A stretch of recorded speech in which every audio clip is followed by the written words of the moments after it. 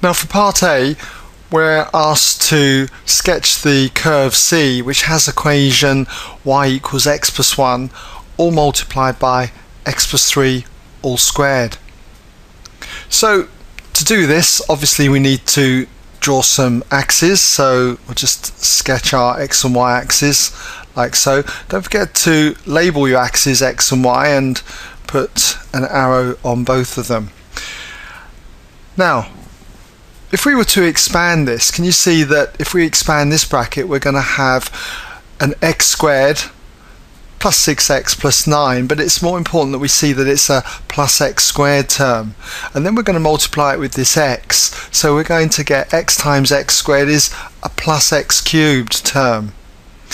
And when you get plus x cubed graphs, they tend to look something like this. Okay? So that gives me an idea before I even start to what it's going to be looking like as I say.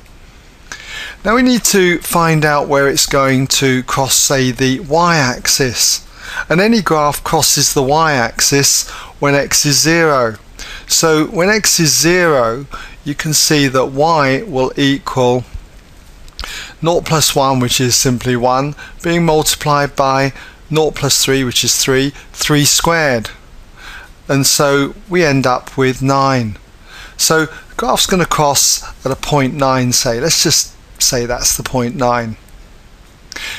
Now the other thing is where does it cross the x-axis? Well it crosses the x-axis when y is 0 and if we have when y is 0 you've got 0 equals x plus 1 all multiplied by x plus 3 all squared. So therefore, any two, any of these factors here could equal zero. So either x plus 1 equals 0, leading to x equals minus 1, or x plus 3 equals 0, leading to x equals minus 3. These are often called the roots. But what we've got here, because we've got x plus 3 multiplied by another x plus 3, we've really got what is called a repeated root, that x can equal minus 3 and x equals minus 3 again. And when you get repeated roots, that's very important. That means that the curve doesn't cross the x-axis, it just touches. So we can expect the curve to just touch the x-axis at a point, say, minus 3. And it's going to go through the x-axis at minus 1. So imagine minus 1 is there.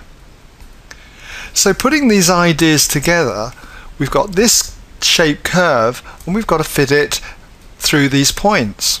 We've got to have a curve then that comes up from here comes up towards the minus 3 on the x-axis but just touches it there drops away and then turns again through the minus 1 and then heads up through that 9 there. So that's your curve then.